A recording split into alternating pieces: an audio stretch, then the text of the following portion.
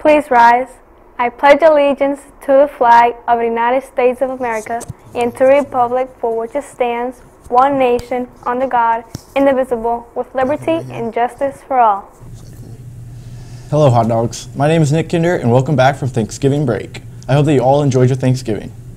And I'm Ricky. Stay tuned for the latest in news, weather, and sports. Now for the Quickie Weather Report with Mo Perry. Mo?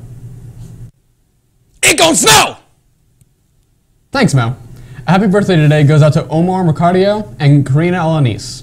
And as far as lunch is concerned, well, your guess is as good as ours, as we were not given the info that was needed. Now over to sports with Edgar.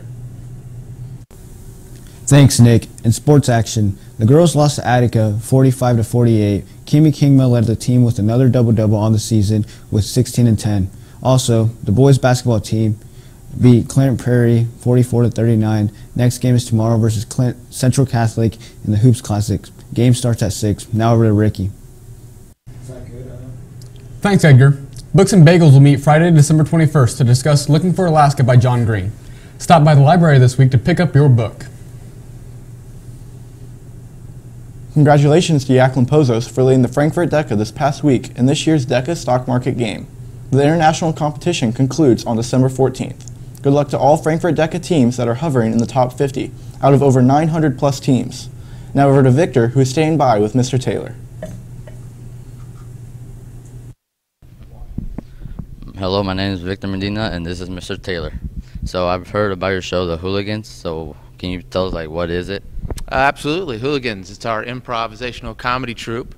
We are the premier comedy troupe here at uh, Frankfort High School. Um, it will be uh, Friday, November 30th. Uh, we're going to do it in the cafeteria this year because we're going to be serving up some popcorn and some treats and whatnot so you guys can sit back, enjoy a little comedy. For those of you that aren't sure really what the hooligans or what improv is, it's very similar to Whose Line Is It Anyway? Uh, we come with nothing prepared other than a structure of a game. Uh, so what we'll do is we'll ask you or fellow members of the group uh, to give us a suggestion, and from that, uh, we're going to try and make a scene and try and make you laugh. Uh, could you tell us when it is and like who's involved?